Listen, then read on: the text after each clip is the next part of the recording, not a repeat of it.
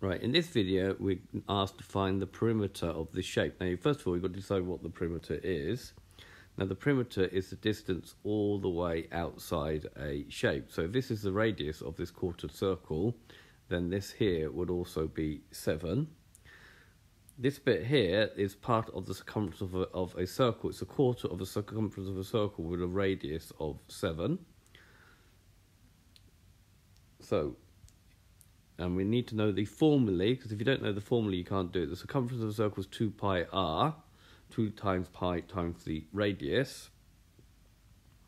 So the perimeter is going to be 2 times pi times 7. And that's going to give you, um, we have to divide that by 4 because we've only got a quarter of the circumference.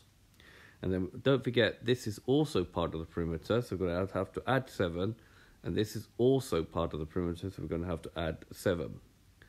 Right, 2 times 7 is uh, 14, so we've got 14 pi over 4, and 7 plus 7 is 14.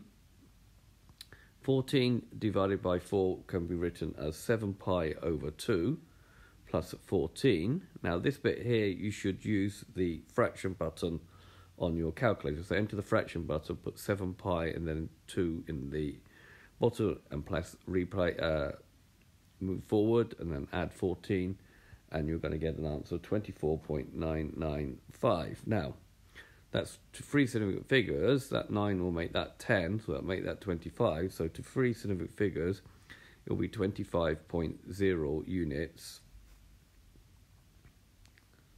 to three significant figures. It is important that you write that point zero in, in, in this case.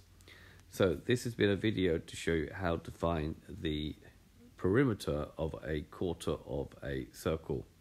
I hope you've understood and I thank you very much for watching.